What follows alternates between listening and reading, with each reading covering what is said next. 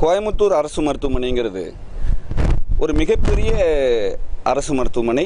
நீலகிரி மாவட்டத்தில் இல்லாத விஷயங்களும் பக்கத்து மாவட்டங்களில் இல்லாத ஸ்பெஷாலிட்டியான விஷயங்களும் இந்த மருத்துவமனையில் தான் இருக்குது இதை நம்பி அனுதினமும் ஒரு ஐயாயிரத்துக்கும் மேற்பட்ட வெளிநோயாளிகளும் பார்வையாளர்கள் ஒரு ரெண்டாயிரத்துக்கு மேற்பட்டவர்களும் தினமும் வந்து போயிட்டு இருக்கிறாங்க அந்த எல்லாத்துக்கும் சேர்ந்து ஒரு கட்டண கழிப்பிடம் வந்து அரசு மருத்துவமனைக்குள்ளேயே செயல்பட்டு இருக்கு அந்த நவீன கட்டண கழிப்பிடம் எங்கே இருக்குன்னா பழைய விபத்து மற்றும் அறுவை சிகிச்சை பகுதிக்கும் எதிர்த்தாப்பில் இருக்குது அதே பகுதியில் அதே சிவட்டின் மறுபக்கம் வந்து இப்போ ஒரு உணவகம் கட்டுறதுக்கு அரசு மருத்துவமனை நிர்வாகம் அனுமதி அளிச்சிருக்கு.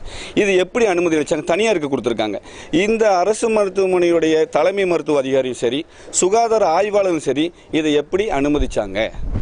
இந்த கட்டண கழிப்பிடத்தில் நோயாளிகளும் சரி நோயாளிகள் பார்வையாளர் வரவங்களும் சரி அது பயன்படுத்தும் போது அதில் நோய் தொற்றுகள் அதிகமாக ஏற்படுறதுக்கு வாய்ப்பு இருக்குது கிருமிகள் அதிகமாக பரவறதுக்கு வாய்ப்பு இருக்குது இந்த நோய் தொற்றும் கிருமிகளும் பரவுற இடத்துக்கு அடுத்த ரெண்டு நிமிஷத்தில் போகிற மாதிரி ஒரு கேண்டீனி வச்சா இந்த மக்கள் எப்படி பயன்படுத்துவாங்க? அப்படியே பயன்படுத்தினாலும் அது தரமானதாகவும் பாதுகாப்பானதாகவும் எப்படி இருக்கும்? இந்த கேள்விக்கு இன்றைக்கு வரைக்கும் யாருமே விட சொல்லலை.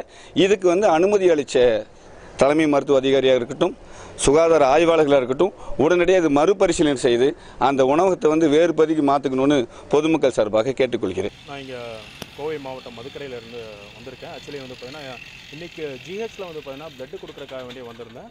இங்கே வரும்போது வந்து பார்த்தீங்கன்னா ஒரு கேண்டீன் வந்து புதுசாக வந்து ஆரம்பிச்சிருக்காங்க. ரொம்பவே டேஸ்ட்டாக இருக்குது கேண்டீன் பட் ஆனால் அதில் என்ன ஒரு சின்ன ஒரு மாற்றம்னு சொல்லி பார்த்தீங்கன்னா பக்கத்துலேயே வந்து பார்த்தீங்கன்னா டாய்லெட் இருக்குது இந்த டாய்லெட் வந்து பார்த்தீங்கன்னா வெ- வெறும் வந்து பார்த்தீங்கன்னா ஒரே ஒரு செவர் மட்டும் தான் அது தொட்ட மாதிரியே வந்து பார்த்தீங்கன்னா கேண்டீனும் அமைந்து இருக்கிறதுனால அதுலேருந்து வெளியே வர கசிவு நீர் எல்லாமே ரோட் சைடில் தான் ஸ்ப்ரெட் ஆகி வந்துட்டுருக்கு. இங்கே ஜிஹெச்க்கு வரவங்க வந்து பார்த்திங்கன்னா ஆல்மோஸ்ட் வந்து பார்த்தீங்கன்னா புறநகர் மாவட்டத்துலேருந்து வராங்க. நீலகிரியிலேருந்து வராங்க குன்னூர்லேருந்து வராங்க திருப்பூர்லேருந்து வராங்க. அவங்க வந்து ஒரு பெரிய ஒரு ஹாஸ்பிட்டல் இருக்குதுன்னு சொல்லிட்டு ஒரு பார்த்துட்டு வராங்க. பட் என்னென்னா இங்கே வந்து சுகா சுகாதாரமே வந்து பார்த்திங்கன்னா ரொம்ப சீரழிஞ்சு இருக்குது எவ்வளவோ சுகாதாரத்துறையை வந்து பார்த்திங்கன்னா நல்ல விஷயங்கள் பண்ணிகிட்டு இருக்காங்க மழைக்காலம் வந்தால் நிலவேம்பு கஷாயம் கொடுக்குறாங்க. இந்த மாதிரி ஒரு சில சோர்சஸ் எல்லாமே பண்ணாங்கனாலும் மெயின் இருக்கக்கூடிய தளம் கவர்மெண்ட் ஹாஸ்பிட்டல்லே வந்து பார்த்திங்கன்னா இந்த மாதிரி ஒரு கசிவுகள் எல்லாமே இருக்கும் காரணத்தினால சுகாதாரத்துறை அதுக்குண்டான சம்மந்தப்பட்ட அதிகாரிகள் எல்லாமே வந்து பார்த்திங்கன்னா இதுக்குண்டான நல்ல ஒரு பார்த்து நேர்பார்வையிட்டு அதுக்குண்டான முடிவு ஒன்று எடுத்தாங்கன்னா நல்லாயிருக்கும் இது மட்டும் இல்லாமல் இங்கே வரக்கூடிய பயணி இங்கே வரக்கூடிய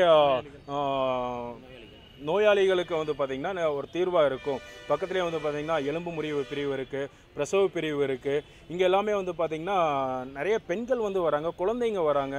இது மூலமாக இந்த கழிவுநீர் எல்லாமே வெளியே வர்றதன் காரணத்தினால நோய்கள் வந்து அதிகமாக வந்து பரவுறதுக்கு உண்டான சான்சஸ் வந்து அதிகமாகவே இருக்குது இதை வந்து இதற்குண்டான அதிகாரிகள் வந்து விரைவாக வந்து இதை இதை பார்வையிட்டு இதுக்குண்டான ஒரு நல்ல தீர்வு எடுத்தாங்கன்னா நல்லாயிருக்கும் ஒன்று இதுக்கு வந்து ஒரே ஒரு மாற்றம் தான் வேணும். மக்கள் மத்தியிலேருந்து கேட்கக்கூடிய ஒரே ஒரு மாற்றம் தான் ஒன்று வந்து ஹாஸ்பிட்டலில் இருக்கக்கூடிய கழிப்பிடம் அந்த பகுதியை வந்து சேஞ்ச் பண்ணுங்கள் அப்படி இல்லைன்னா கேன்டீனை சேஞ்ச் பண்ணுங்கள் இது ரெண்டுமே ஒரே இடத்துல வச்சாங்கன்னா இன்னும் மேற்கொண்டு வந்து பார்த்தீங்கன்னா நோய்கள் வந்து அதிகமாகிட்டு இருக்கும். கவர்மெண்ட் ஹாஸ்பிட்டலில் வந்து பேஷண்ட்ஸும் அதிகமாகிட்டு தான் இருப்பாங்க. ஓகேங்களா? இதை மட்டும் பார்த்து அதுக்குண்டான அதிகாரிகள் வந்து பார்த்து ஒரு நல்ல ஒரு முடிவு எடுத்தாங்கன்னா நல்லா இருக்கும்ன்ட்டு பொதுமக்கள் சார்பாக வந்து கேட்டுக்கிறேன்.